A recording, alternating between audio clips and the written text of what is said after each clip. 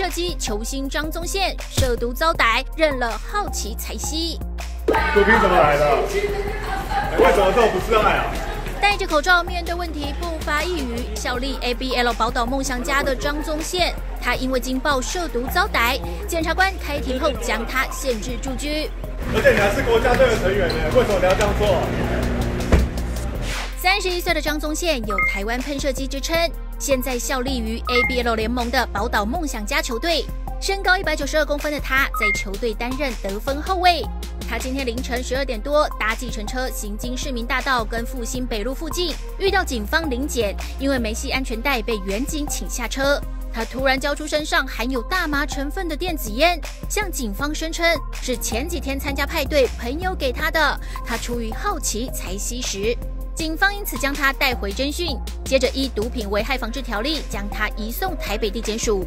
由于他向检察官全认了，检察官讯后将他限制住居。你身为一个篮球员，这样对吗？现篮球生涯可以说是起起伏伏，二十岁就打进台湾篮球国家队，还曾加入中国跟菲律宾球队。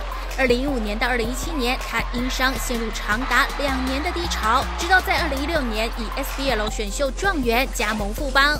却又运动伤害缠身，在开刀及努力复健下，目前效力于 ABL 联盟宝岛梦想家，好不容易又崭露头角，没想到这下却惊爆染毒，而他被检察官限制住居后，球团立即发声明，将他即刻开除。张宗宪因染毒断送他的篮球生涯。动新闻台北报道。